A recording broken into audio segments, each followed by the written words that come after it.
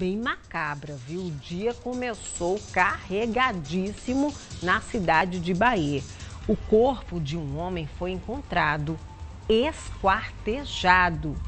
As partes desse corpo estavam próximo, estavam próximas a uma mata que fica no centro da cidade, também pertinho da linha do trem. Essas partes estavam em sacolas plásticas.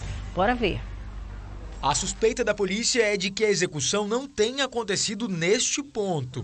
Possivelmente esse crime não foi cometido aqui por não haver a presença de sangue aqui no local do crime. Os informes é que estaria um grupo consumindo drogas no matagal próximo aqui do local e onde teria ocorrido o crime. E logo em seguida transportaram o corpo para cá.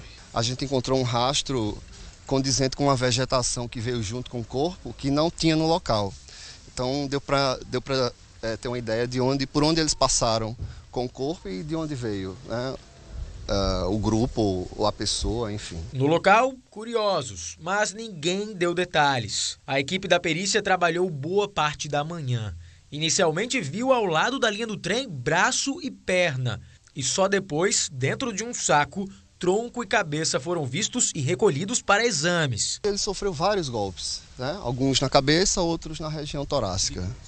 Não, não tem como saber. Só sabe que é uma ação pérfuro-incisa, né? Pode ser um, uma, uma, peixeira, alguma coisa dessa natureza. Não necessariamente uma peixeira, mas só para vocês terem uma ideia do que é. é e aí depois sofreu, ou antes ou, ou depois, não sei, sofreu golpes na cabeça com alguma coisa que também corta, mas também contunde, né? Várias fraturas no crânio? Tem várias fraturas no crânio. Por enquanto não há identificação, só se sabe que se trata do corpo de um homem. Os únicos sinais de identificação que a gente encontrou nele foram tatuagens. Uma no braço direito com a inscrição Ana Lúcia e uma no braço esquerdo com o nome Elias e a figura de um anjo do lado.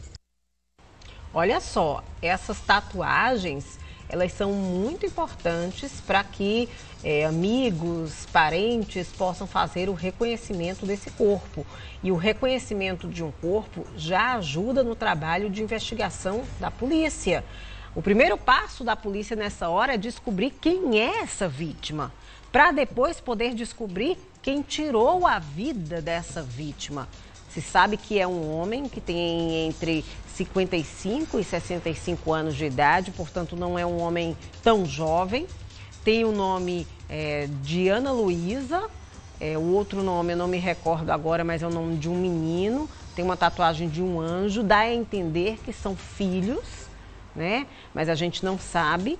Mas essas informações da tatuagem são muito importantes para o reconhecimento e para o trabalho da polícia. Portanto, se você tem alguma informação sobre esse crime, entre em contato com a polícia através do 197. Lembrar aqui que você não precisa se identificar esse foi um crime extremamente brutal, esquartejar uma pessoa é, mostra que esse criminoso ele tem uma frieza muito grande, que o criminoso ou os criminosos, né, é, são pessoas ou é uma pessoa extremamente perigosa e que a gente não quer que continue livre.